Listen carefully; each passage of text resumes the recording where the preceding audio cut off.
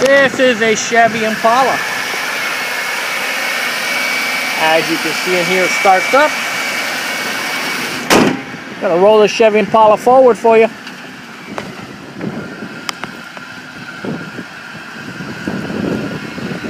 This is a four-door car. What you see is the old stickers. This was a police car, but it did not have the light bars. It had an antenna, I guess, but no light bars.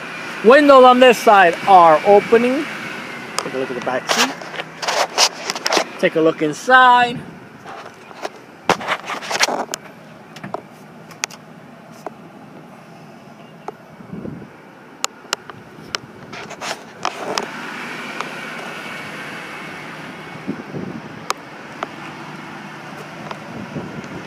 paint. I guess I got getting the stickers off. All scratched up.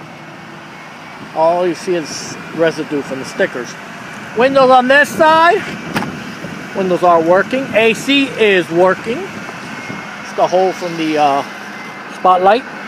Gonna roll the Chevy Impala back to you.